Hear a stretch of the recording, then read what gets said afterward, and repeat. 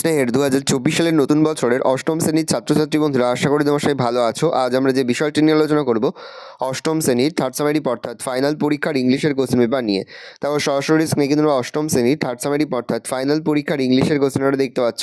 Full marks তোমাদের রয়েছে সত্তর, আর সময় তোমাদের রয়েছে দু ঘণ্টা ত্রিশ মিনিট। তোমাদের যেহেতু ইংলিশ কোশ্চেন পেপারে উত্তর করতে সেহেতু প্রথমে তোমার নাম, রোল নাম্বার সেকশন লিখে তারপরেই কিন্তু প্রশ্ন উত্তরগুলো শুরু করবে।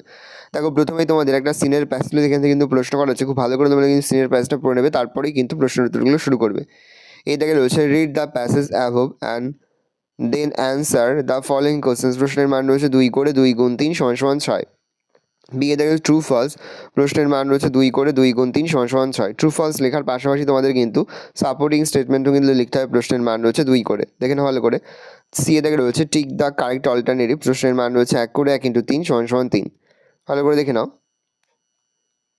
তারপরে রয়েছে তোমার দেখো দুয়ের দেখে একটা পোয়েমের প্যাসেজ রয়েছে, এখান থেকে কিন্তু প্রশ্ন করা হচ্ছে। খুব ভালো করে তোমরা আমি পোয়েমের প্যাসটা পড়ে নেবে তারপরে কিন্তু প্রশ্ন উত্তরগুলো শুরু করবে। দেখে রয়েছে complete the following sentence with information from the text প্রশ্নের মান রয়েছে এক করে এক ইন্টু চার সমান সমান চার। বিয়ে দেখে রয়েছে অ্যান্সার দ্য ফলোয়িং কোশ্চেন প্রশ্নের মান রয়েছে দুই করে দুই গুণ তিন সমান সমান ছয়। তারপরে দেখো তোমাদের তিনে দাগে একটা আনসিনের প্যাসেজ রয়েছে, এখান থেকে কিন্তু প্রশ্ন করা আছে খুব ভালো করে তোমরা কিন্তু আনসিনের প্যাসটা পড়ে নেবে, তারপরেই কিন্তু প্রশ্নের উত্তরগুলো শুরু করবে। এর দেখে রয়েছে read the above passage carefully and answer the following question প্রশ্নের মান রয়েছে দুই করে দুই গুণ পাঁচ সমান সমান দশ। ভালো করে দেখে নাও। আর তিনে থেকে রয়েছে complete the following sentence with information from above passage প্রশ্নের মান রয়েছে এক করে এক ইন্টু পাঁচ সমান সমান পাঁচ। তারপরে তোমাদের গ্রামার থেকে প্রশ্ন করা হয়েছে, দেখো, প্রথমে রয়েছে fill in the blanks with appropriate article and preposition প্রশ্নের মান রয়েছে হাফ করে হাফ গুণ চার সমান সমান দুই।